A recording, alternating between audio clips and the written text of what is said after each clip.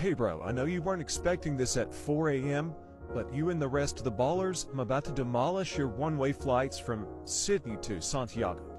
Now here we have an advertised one-way flight from Santiago to Sydney. Notice the time, 8 hours 35 minutes. So we're just going to say 19 hours going forward. So make sure we note the distance from Santiago to Sydney via Google Earth, 7,052 miles. So now let's do the math. 10,800 mile trip at an average speed of 690 miles per hour gives us roughly 15.65 hours. The trip is advertised at right at 19 hours.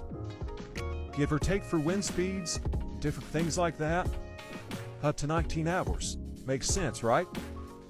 Now here's where the distance on the globe comes in. 7,052 mile trip, 690 mile an hour average speed, roughly 10.23 hours.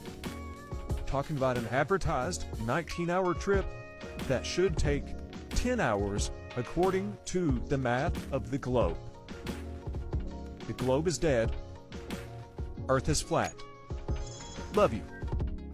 Hey bro, I know you weren't expecting this from someone that knows how to use their brain, but I've seen that flight before for a lot less than 18 hours. So I hopped on Google Flights and looked up uh, same date that you have, August 24th, Santiago to Sydney, and found the flight you were looking at.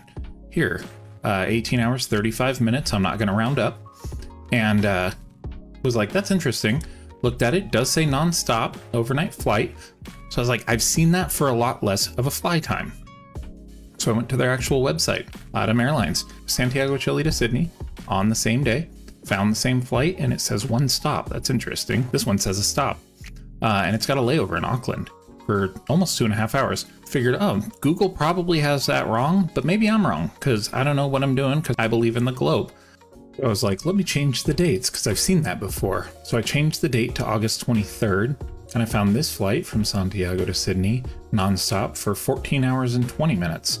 Uh, so yeah, it cuts four hours off of the flight that you found. And uh, just to fill you in, the average cruise cruising speed of a Boeing 787 is 567 miles an hour. So you were going for top speed. Here's here's a little bit of research. It took me all of seven extra seconds compared to what you looked for.